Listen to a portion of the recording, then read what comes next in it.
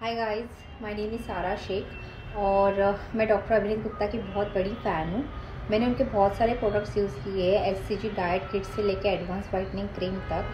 आप देख सकते हो कि मेरे कॉम्प्लेक्शन में एक ह्यूज डिफरेंस आ चुका है। मैं पिछले दो साल से यूज़ कर रही हूँ एडवांस वाइटनिंग किट अभी मेरे पास है नहीं दिखाने के लिए क्योंकि मुझे पता नहीं था कि uh, सर ये एक कॉन्टेस्ट लाने वाले हैं। But then I have a Dermacol cream to show you guys which is mandatory after using which is mandatory after using advance skin whitening kit so I would highly recommend you कि आप लोग ये kit ज़रूर लेना।